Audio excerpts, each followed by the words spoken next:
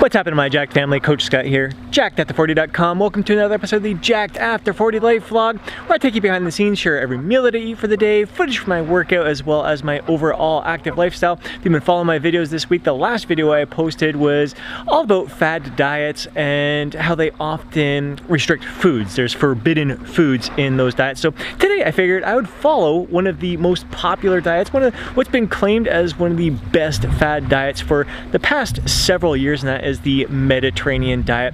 Um, the one thing that I like about this diet is that although they have foods that they they suggest you avoid, they they don't say you don't have to have it. They say you should limit it or try to avoid it. So it's not like a lot of the dogmatic um, fad diets out there that are like really like there's no way in hell you can eat any of these things. They just they suggest that you eat them in limited quantities uh, throughout the week. So today it's going to be a full day of eating the Mediterranean diet. Let's see how well I can stick with it.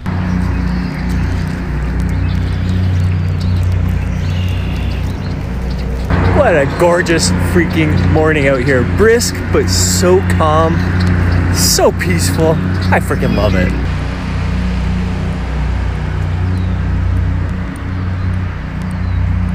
Chief and I just got back from our morning walk and right out of the gates this morning I was faced with the dilemma of how hardcore I want to be with this Mediterranean diet which suggests that you limit processed foods and first thing I had two cups of coffee this morning with just a little bit of unsweetened vanilla almond milk and 300 milligrams of ashwagandha. Now the almond milk is processed. It's got some additives in there, uh, fairly natural and not tons of additives, but it's still been processed. And right now I'm about to have my breakfast shake, which has one cup of unsweetened vanilla almond milk in here, along with some homemade kefir, one scoop of whey protein powder, one tablespoon of maca, an ass load of spinach, and a banana. So the whey protein powder, that is also processed, but once again, it's been shown to have some great health benefits, even cancer fighting benefits as well, and it helps keep my protein intake up. I enjoy the flavor in my shake. I'd say one of the biggest reasons the Mediterranean diet is one of the best fad diets out there is because of the health benefits associated with it. There's some great heart health benefits to it, uh, just overall health in general, and some great weight loss benefits as well. Some would say it's a largely plant-based diet, which I can see to an extent, but I'd say it's more or less a natural whole food kind of diet. Um, just trying to get your as much food as possible from natural whole food sources. Uh, there are lean proteins in there. You can have some chicken, fish. Um, they do say you should limit your red meat, but they don't say completely avoid red meat. Just have it in, in have it sparingly, I guess you could say. So I wouldn't necessarily consider this a, a plant-based diet. They were just really really recommend, they suggest that you avoid processed foods as best you can, which is, I think that's a great rule of thumb. Anyways, my diet is typically 90% whole natural foods. 10% uh, of it would come from the, the processed food. So I'd say I'm pretty darn close to eating a Mediterranean diet lifestyle for the most part um, in general. On to meal number two, and again, this is the typical second meal of the day for me. I've got four large brown free-range eggs here, some mixed veggies, two-third cup oats, 140 grams of frozen mixed berries, sprinkled a little bit of cinnamon on top, and this is, my second meal is also Mediterranean diet compliant. The only thing is with the eggs, they do say that you should only have them occasionally. I have four large eggs every single day, so I think that kind of exceeds, uh, like my overall diet plan probably exceeds the recommendation what uh, the Mediterranean diet would, um, would comply with. The one thing I absolutely love about the Mediterranean diet is basically they say eat limitless amounts of non-starchy veggies. Uh, if they're gonna have a recommendation, they think they said about seven to 10 uh, servings of veggies each and every day. That's probably my favorite meal of the day because it's so satisfying, it's so filling, really provides me with the fuel and energy to get through my day, performing my best, feeling my best. And basically by the time this meal digests, it's gonna be about my workout time. So even though I'm gonna have a pre-workout meal, a meal that's closer to my training session, this is gonna be the meal, meal that's going to provide the fuel for a great training session. So I really like having the, the great proteins in there, the great carbohydrate source, the fast acting with the fruit, as well as the slow acting with the oats, um, and the slow acting with the, the veggies as well. It really had me thinking, because this meal is so satisfying, so filling, a lot of it has to do with the amount of veggies I have in there, really had me thinking about how a lot of the fad diets really, they suggest that you can have a limitless amount of veggies. The benefit of that is that the more veggies you eat, the harder it is for you to overeat throughout the day. And it's a big reason why I like to eat my veggies first in the meal. So I polished off those mixed veggies before I went on to the eggs and then finished off with oats. Uh, just because if I eat those veggies first, I tend to, I'm less likely to overeat in that meal. I mean, I already, I made my portion size, but if I was having a dinner with my family and there's a whole bunch of food, there's gonna be leftovers for the next day, I'd be less likely to go for the leftovers if I eat those veggies first um, because it tends to, I tend to feel fuller sooner um, and less likely to go grab some food afterwards. So that's a huge benefit to having loads of veggies in your diet. On to meal number three. Again, this is the third typical meal that I eat each and every day. And once again, it's Mediterranean diet compliant. I've got 260 grams of plain Greek yogurt here, 140 grams of frozen mixed berries. I'll go with a different berry mix this time just to get some variety in there, different uh, micronutrients. Uh, I've got two tablespoons of almond butter in there, natural raw almond butter. So I'm gonna enjoy this right now. This is my pre-workout meal, gonna be hitting the gym in about 90 minutes. I forgot to mention that I am also snacking on a large red pepper here. So Veggies with each and every meal. Again, great for our male hormone health. Heading to the gym in a few minutes, but before I go, I'm gonna have four ounces of 100% pomegranate juice, no additives in here at all. Now, the Mediterranean diet says we should limit or avoid fruit juices, but I'm not so sure if it's the same thing, if it comes from 100% uh, fruit juice here. Uh, pomegranate juice is fantastic for us men over 40, great for blood flow, which is why I like to take it before a workout. Uh, it can be helpful for libido as well. So uh, even if it is not allowed on the Mediterranean Diet, I'm going to continue taking it because there are great health benefits to it. Lots of micronutrients in there, antioxidants in there, um, and just like I said, great for men's health over 40. Just got to the gym, about to blast chest with a bit of back. Looking forward to getting this pump on. I've got those oats flowing through my veins as well as those eggs and berries. Let's get to it.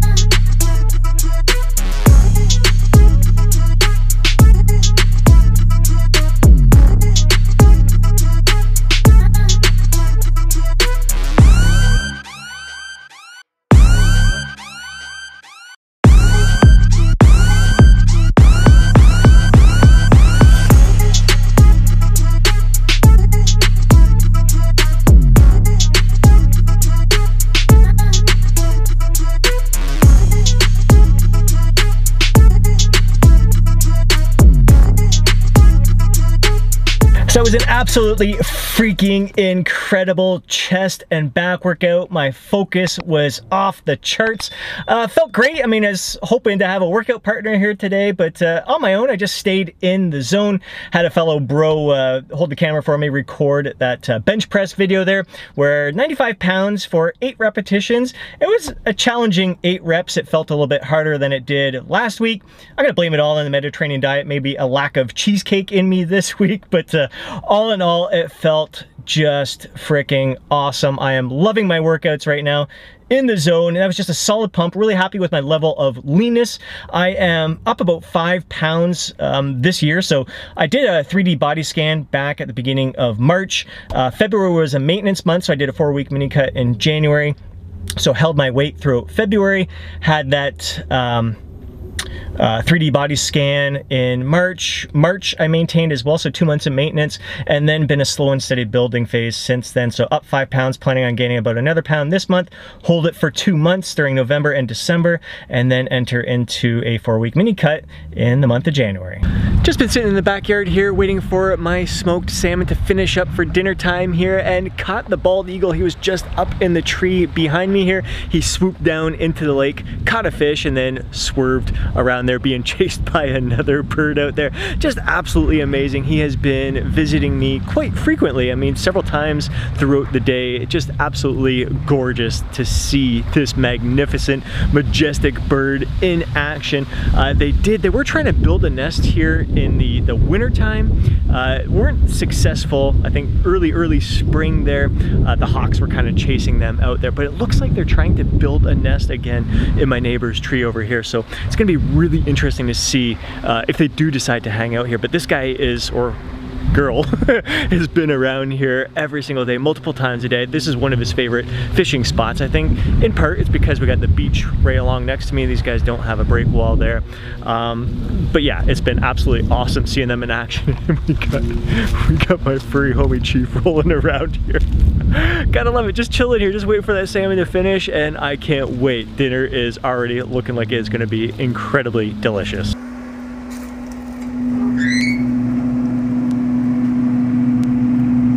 I'm about to dive into this dinner and post-workout meal and this is looking absolutely freaking delicious. 100% Mediterranean diet compliant. We've got an ass load of Brussels sprouts here, 15 ounces of sweet potato. What I did was coat the the casserole dish with a little bit of olive oil, and then I coated the sweet potatoes with a bit more olive oil, sprinkled in some kosher salt on top. That combination is just absolutely freaking phenomenal. Baked it in the oven at uh, 400 degrees for about 35-40 minutes, and two fillets of salmon that I cooked on the smoker for about two and a half hours, uh, just at the smoke setting until it reached an internal temperature of 135 degrees one of my favorite meals. Now they do recommend having salmon twice a week. You could have limitless veggies, like I said, and sweet potatoes is a carbohydrate source that they recommend you can have every single day. You can have that often. So 100% compliant here. This is, again, how I eat every single week. I have smoked salmon twice a week, every single week. I love it. My furry homie Chief loves it. He's sitting down here waiting for a bite right now. Uh, and yeah, just absolutely freaking fantastic. I'm gonna dive into this. Get back to you soon.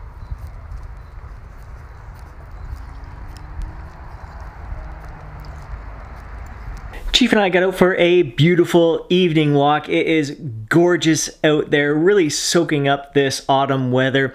And uh, yeah, just winding down for the night right now. Done eating for the day. So that puts me at damn close to 3,000 calories. Of course, all this calorie tracking, it's just an estimate. Our best estimate that we can have to give us a good idea of how much we're consuming each and every day. Of course, there is room for errors in this, but uh, yeah, based on MyFitnessPal here, I am looking at just under 3,000 calories for the day, which is what I aim for each and every day, whether I'm having cheap meals, cheat days, I always try to keep it within 3,000 calories. So um, it's a big reason why I'm able to stay shredded after 40. Uh, I know a lot of people just see the cheat meals and they think, how the heck can this guy eat like this? It's because I hit my caloric target for the day. It's just when I'm having cheat meals and cheat days, uh, those meals are more calorie dense. So actually, I'm not as full at the end of a, a, cheat day like that where I hit my caloric target compared to a day like this where the food volume is absolutely outrageous with all those veggies um, and all. I'm making sure that I'm getting all those micronutrients in my diet, hit my macronutrients. Speaking of macronutrients.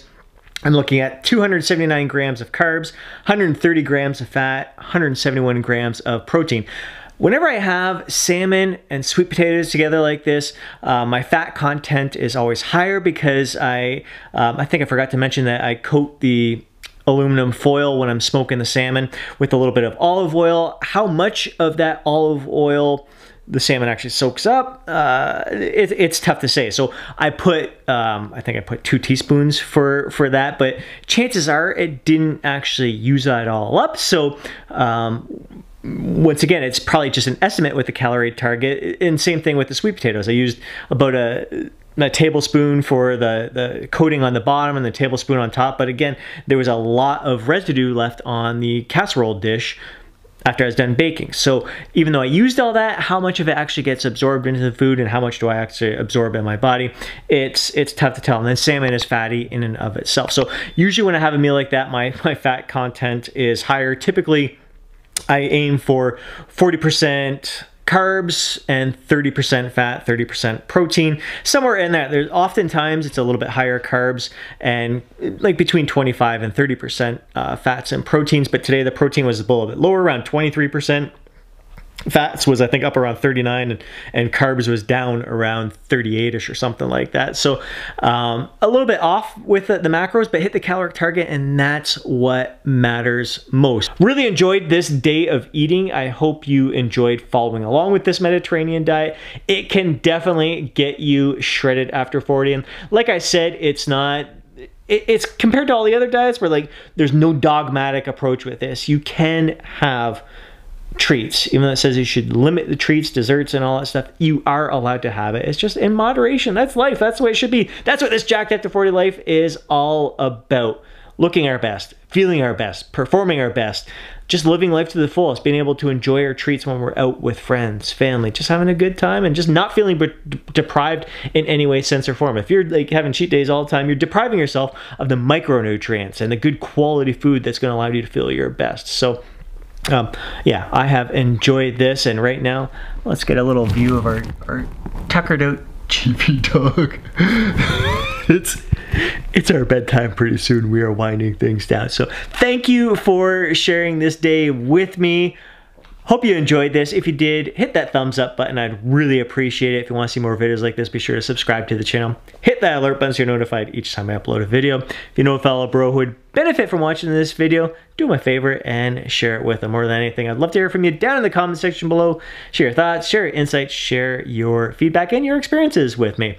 And before you go, don't forget to download your free guide, Jacked After 40. Have yourself an amazing day. I'll catch you in the next video.